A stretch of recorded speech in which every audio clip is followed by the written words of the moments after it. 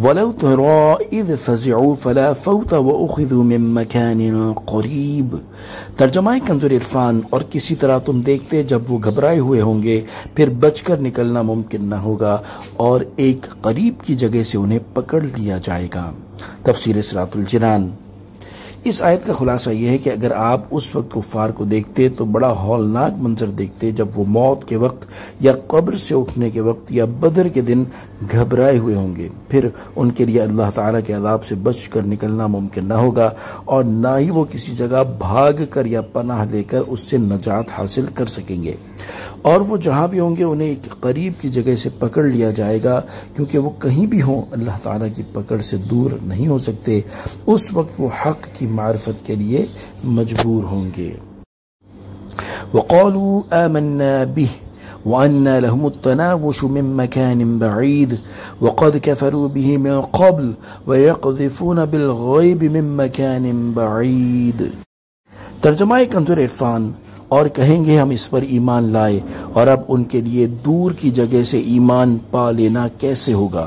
حالانکہ وہ پہلے اس کا انکار کر چکے اور بغیر دیکھے ہی دور کی جگہ سے پھینکتے تھے۔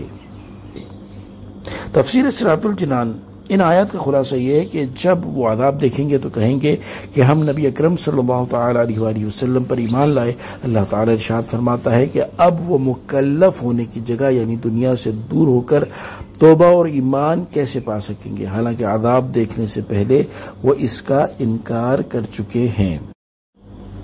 وحيل بينهم وبين ما يشتهون كما فعل بأشياعهم من قبل انہم كانوا فی شک مریب ترجمہ کنزل عرفان اور ان کے درمیان اور ان کی چاہت کے درمیان رکاوٹ ڈال دی گئی، جیسے ان کے پہلے گروہوں کے ساتھ کیا گیا تھا۔ بے شک وہ دھوکہ ڈالنے والے شک میں تھے۔ تفسیر سرات الجنان یعنی کفار کے درمیان اور ان کی چاہت توبہ اور ایمان قبول کرنے کے درمیان رکاوٹ ڈال دی گئی، جیسے ان کے پہلے گروہوں کے ساتھ کیا گیا تھا کہ ان کی توبہ اور ایمان نا امیدی کے وقت قبول نہ فرمائی گئی۔ بے شک کفار ایمانیات کے متعلق دھوکہ ڈالنے والے شک میں تھے۔ صحابہ کرام رضی اللہ تعالی عنہم قرآن پاک کی آیات میں بہت غور و فکر کیا کرتے تھے۔ ایک مرتبہ حضرت عبداللہ بن عمر رضی اللہ تعالی عنہما نے ٹھنڈا پانی پیا تو رونے لگ گئے۔ ان سے عرض کی گئی کہ آپ کو کیا چیز رلا رہی ہے؟ آپ رضی اللہ تعالی عنہ نے فرمایا، مجھے اللہ تعالی کی کتاب میں سے یہ آیت یاد آ گئی تھی، وَحِيلَ بَيْنَهُمْ وَبَيْنَ مَا يَشْتَهُونَ۔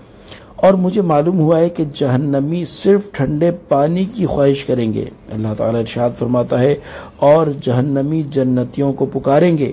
ترجمہ، کہ ہمیں کچھ پانی دے دو یا اس رزق سے کچھ دے دو جو اللہ نے تمہیں دیا ہے۔ ان مقدس ہستیوں کے نقش قدم پر چلتے ہوئے ہمیں بھی چاہیے کہ قرآن مجید کی آیات میں غور و فکر کیا کریں اور ان میں بیان کیے گئے مضامین اور دیگر چیزوں سے عبرت اور نصیحت حاصل کیا کریں۔ اللہ تعالی ہمیں اس کی توفیق عطا فرمائے، آمین۔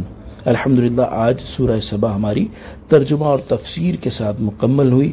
اللہ تبارک و تعالی اس سورہ مبارکہ کا خوب خوب فیض ہمیں عطا فرمائے۔ آمین بجاہ نبی الامین صلی اللہ تعالی علیہ وآلہ وسلم۔